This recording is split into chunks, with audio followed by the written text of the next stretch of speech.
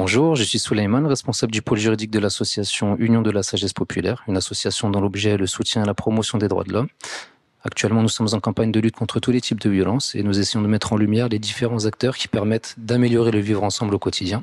Et donc, je vais vous laisser le soin de vous présenter dans un premier temps. Ben, moi, je m'appelle Jean-Marc Mormec.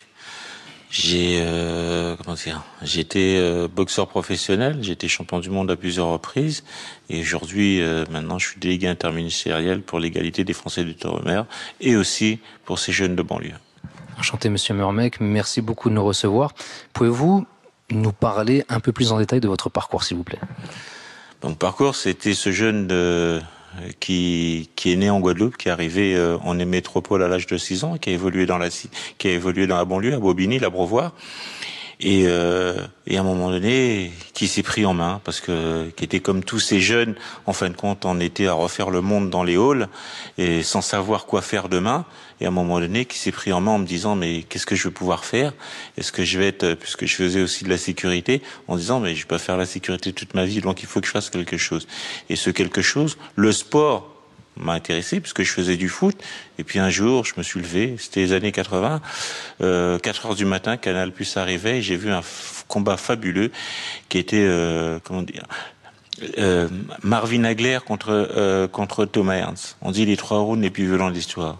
J'ai voulu être ce type et je me suis dit comment l'être? Donc il faut se discipliner, il faut aller à l'entraînement et après j'ai été à l'entraînement, j'ai commencé à travailler et je rêvais je rêvais en fin de compte de devenir champion du monde. Merci. Pouvez-vous nous dire quel est votre sentiment aujourd'hui concernant le racisme et les discriminations dans leur généralité, s'il vous plaît? Bah, Mon sentiment, je pense que le, racisme, forcément, ça existe, mais je pense que c'est il y, a beaucoup de, de racisme parce que je pense que pour certains, peut-être les gens en province ou d'autres, c'est aussi par rapport à tout ce qu'on voit à la télé toute l'information, peut-être la désinformation, mais tout, tout ce, toute cette communication qu'on fait aujourd'hui, on voit par exemple euh, avec tout ce qui se passe pour avec les islamistes, avec la radicalisation, avec moi j'ai vécu dans ce, j'ai toujours vécu en banlieue, on a toujours grandi ensemble. C'était euh, les Noirs, les Noirs et les Arabes, il n'y avait pas, il y avait pas ce problème. Il n'y a jamais eu ce problème. C'était le, le vivre ensemble. C'est le slogan aujourd'hui qu'on répète, euh, euh, le vivre ensemble. Mais on a toujours vécu ensemble. C'est dans la banlieue qu'on a su vivre ensemble. Et même, je dirais même le faire ensemble. Ce qui est plus important, le vivre ensemble, parce qu'on est obligé de vivre ensemble. Mais le faire ensemble, pour moi, c'est important.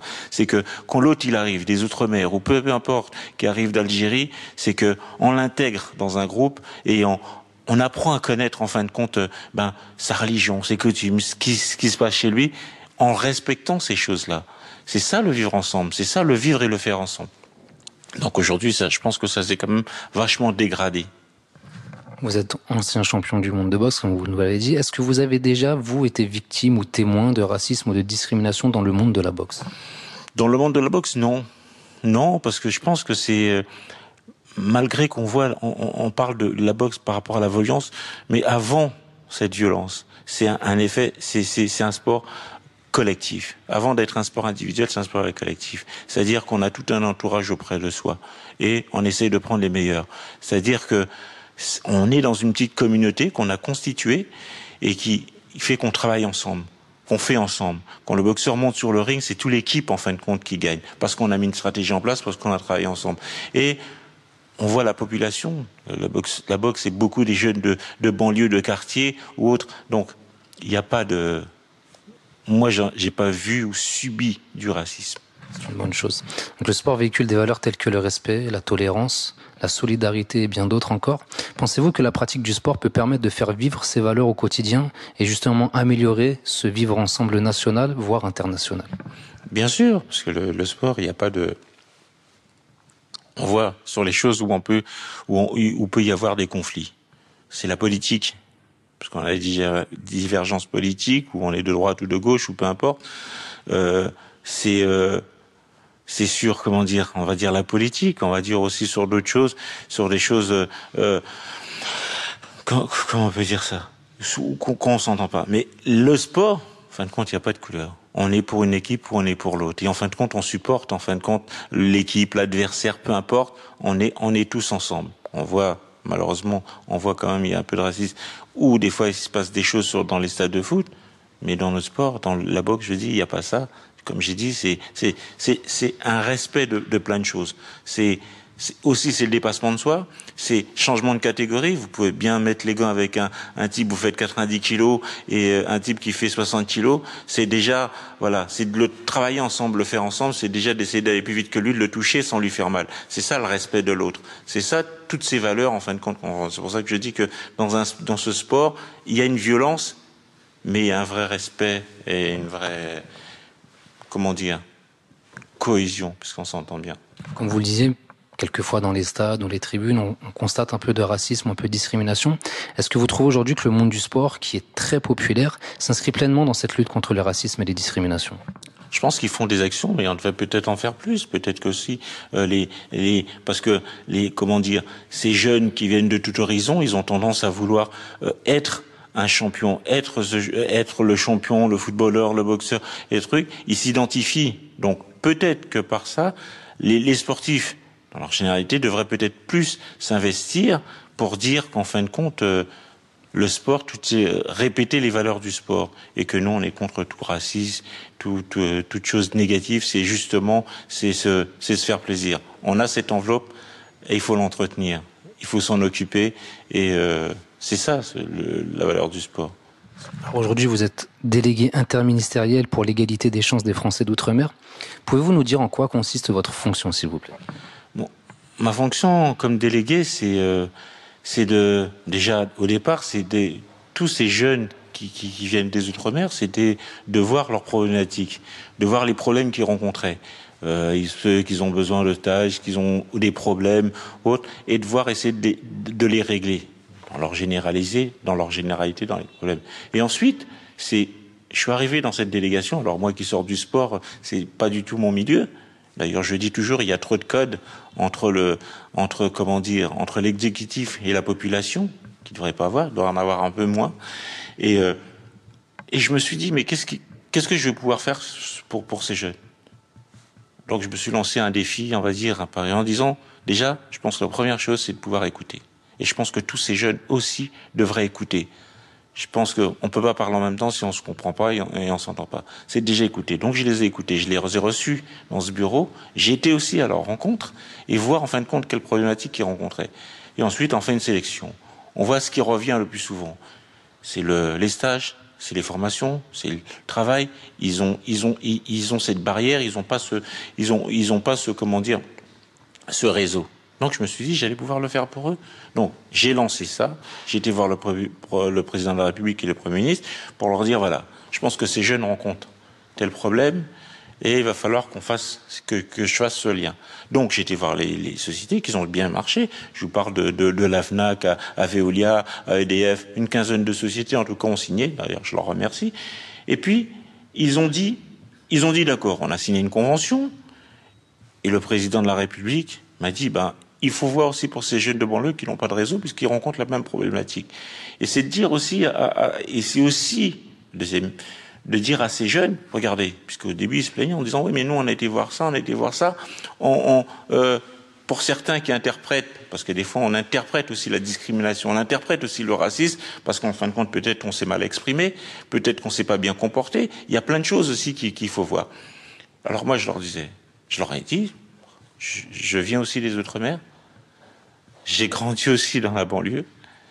Et pourtant, été voir ces sociétés. Regardez, ils ont signé avec moi. Donc, c'est qu'à un moment donné, il y a des solutions. Donc, je pense qu'il faut aussi se remettre en question. Et puis, le fait de se remettre en question, comme ça, ça règle beaucoup de choses. En gros, après une carrière sportive des plus brillantes, vous avez choisi de vous orienter vers la politique pour faire le lien entre la population et l'exécutif, afin qu'il y ait un peu plus de compréhension réciproque, en fait. Oui, et je pense que voilà, moi pour moi, je suis pas un politique, mais euh, il faut être dans la politique pour pouvoir faire du social. Et euh, et, et, et, vu que je suis ce jeune de, de comment dire, de ce garçon de banlieue qui a grandi aujourd'hui, et je pense que c'est c'est bien parce que je peux faire entendre ma voix, je peux aussi écouter, je peux comprendre et on peut faire le. On, il peut y avoir un juste milieu. Est-ce qu'il vous arrive de travailler avec des associations dans le cadre de vos fonctions? Oui, bien sûr. Au contraire, je fais appel aux associations. Ils font appel à nous. On les aide dans les dans les appels à projets. On, on fait en sorte, on les écoute et puis on regarde, de, en fin de compte, quels problèmes qu'ils peuvent rencontrer. Si on peut les régler, on le fait parce qu'il faut le faire. Vous pensez justement que ce tissu associatif est un élément fondamental pour mettre en avant et faire appliquer les valeurs républicaines d'égalité, de solidarité Bien sûr, mais bien sûr, c'est, il faut des associations parce que c'est ce que c'est où, où ces jeunes en fin de compte, quand ils arrivent à, à pouvoir adhérer, c'est ça qui va les aider. C'est ça qui va pour certains. Il y a des associations qui font l'aide, l'aide scolaire pour ces jeunes. En fin de compte, ils auront plus de, ils auront moins de mal à aller voir une association qui est près de chez eux, qui est dans leur quartier, qui est dans leur quartier, parce qu'on va les comprendre. Ils vont parler le même langage. Ils vont et ils vont pouvoir travailler. Donc bien sûr, ça c'est ça c'est du réseau. On dit c'est du réseau. C'est c'est il faut travailler avec les associations qui va pouvoir aussi pour certains des associations qui peuvent défendre aussi ces jeunes euh, quand, quand, ils rencontrent des problèmes parce que je pense qu'ils des fois ils comprennent pas toujours en fin de compte euh, qu'on fait une action la démarche qu'il peut y avoir aussi pour la régler, mais aussi les, les difficultés qu'il peut y avoir aussi à l'expliquer, à expliquer le, le problème qu'on a rencontré et comment il faut se défendre. Donc, bien sûr qu'il faut des associations qui, qui, qui gèrent des choses comme ça. Aujourd'hui, quelles seraient vos préconisations afin de tendre vers un monde meilleur? Ben, un monde meilleur, je pense que déjà pour, euh, comme je l'ai dit tout à l'heure, je pense qu'avant de pouvoir, il faut s'écouter. Je pense qu'il faut s'écouter plus avant d'agir. Il faut, il faut, il faut avoir envie d'aider l'autre. Vous savez, il y a, il y a, il y a un truc, c'est le, qu'on dit, c'est le gardien de mon frère. Je pense que chacun doit veiller sur l'autre.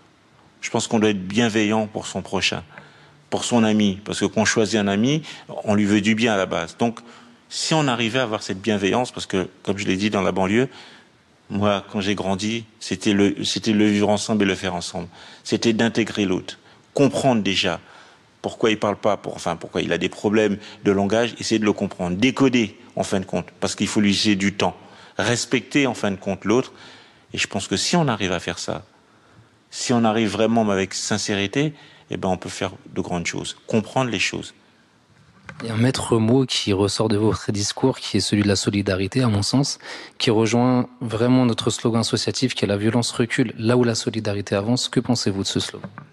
Je pense qu'il est parfait. Je pense qu'il est parfait. Maintenant, après, il va falloir l'inculquer, l'adapter, le faire comprendre. Après, qu'est-ce que c'est? Parce qu'après, ça peut être, pour certains, c'est ça peut être, euh, mais on comprend pas et c'est vague et ça veut dire quoi vraiment? Je pense que le travail que vous faites, il est important. Mais je pense que vraiment il est important. Il aurait dû peut-être même arriver en gros plus tôt. Alors je sais pas combien vous êtes, je sais pas combien. Euh, euh, il faut que ça dure. Il faut faire en sorte que ça dure. Donc c'est vrai, il faut il faut aller voir tous ces jeunes. Enfin beaucoup de jeunes dans des associations. Il faut intégrer. Il faut faire un grand réseau de ça. Ça c'est la force. On a toujours dit, parce que des fois on prend des slogans et puis on se l'adapte un peu comme on dit, on prend les mots forts et puis on le met à n'importe quelle sauce. Mais c'est l'union qui fait la force. Il faut que ces jeunes comprennent qu'en fin de compte, si vous avez cette démarche, comme vous venez dans les ministères, comme vous venez voir le gens, c'est que vous avez envie de les aider, vous avez envie de leur faire comprendre des choses et qu'ils ont des droits, des droits qu'ils connaissent pas bien, et des droits en fin de compte où des fois ils pourraient sortir de, de, de, des problèmes ou euh, peut-être plus vite qu'ils pensent. Il y a une administration où il y a trop de paperasse où il y a trop de codes. Et en fin de compte, peut-être vous êtes le décodeur, le décodeur de tout ça, leur expliquer. Mais il faut qu'ils prennent le temps d'écouter. Parce qu'on peut pas, on peut rien faire en cinq minutes, en dix minutes. On ne doit pas être pressé en fin de compte. C'est important parce que ça, ça part, ça peut régler beaucoup de choses. Et des fois, c'est les vies qui sont en jeu. C'est, pour ça que c'est important. C'est pour ça de prendre du temps, du temps que l'on a, pour pouvoir écouter, pour pouvoir s'enseigner, pour pouvoir s'instruire, parce que l'instruction c'est important. Parce que qu'on n'apprend pas, qu'on ne sait pas les choses, eh ben on n'a pas de, on n'a pas de possibilité vraiment de se défendre. Et en fin de compte, des fois, on tombe dans des choses où on ne devrait même pas être. Mais donc, je pense que vous êtes un relais pour ça. Et si vous arrivez à le faire bien, je pense que c'est une bonne association en vous associant avec des choses, avec avec des autres associations, avec des ministères, en parlant à tous ces gens. Et je pense que vous devez, vous, être un relais essentiel pour la banlieue. Monsieur Moramek, merci pour votre témoignage. Est-ce que pourrons de nouveau compter sur votre soutien à l'avenir? Moi, je, je, suis membre déjà de votre association sans que vous m'ayez invité. Merci beaucoup. Bah, J'espère à très bientôt et merci encore pour ce témoignage.